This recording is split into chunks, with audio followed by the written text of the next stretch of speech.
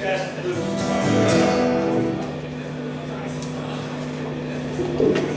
was going to say this is for the ladies, but I don't think that's really appropriate, is it?